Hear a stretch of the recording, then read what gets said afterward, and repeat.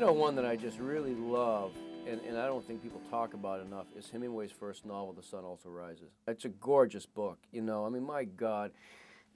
It, I think it's it's just so beautifully written and so honest and so emotionally naked. And in some ways, it's one of his best books, and it's one of his very first.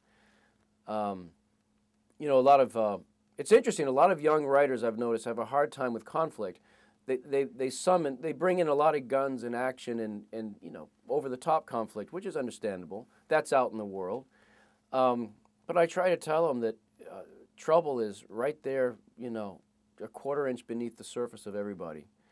And so here, you know, what I love about that novel is the main character is young. His penis has been blown off, but he still has his testicles and all of his feelings, all of his sexual drive. And he's in love with the most beautiful woman in Paris, and she's screwing all of his friends. What more do you have to work with? And it is, isn't it? A, ah, I'm gonna go reread it. And it has one of the best last lines in literature, I think.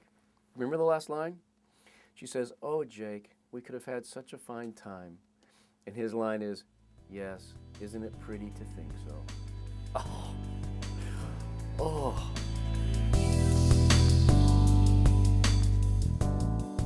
I think so. Um, I don't think you need a lot of trouble. I, I think some of my earlier writing has, got a little too much trouble in it. Although I was writing from the point of view of people who committed violent crimes and whatnot. Um, I think that if, if, if, if you're trying to write character-driven fiction, which I try to do, um, you know, if you have a three-dimensional human being and you put him or her in a real landscape, uh, and you let him or her engage with the people in their lives, trouble's going to be there. And yeah, but there's, you don't have a story without it. I, know in writing classes we use the word conflict, but I think that's overdone because I think kids take it too literally and think they need something really major. No, trouble. You know, here's trouble. You're on a date and you think your breath is bad. That's all you need. You know, you're in a job interview and you have to go to the bathroom.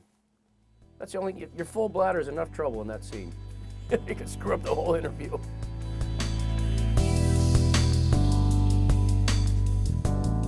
No, well, listen, man. Uh, there is nothing, nothing better, in my opinion, than having kids. I, and you know, I'm not a guy who thought about having kids when I didn't have kids, but now that I've had them, uh, I just feel as if my, my life began after I became a father, really, in a lot of ways, in a, in a bigger spiritual way.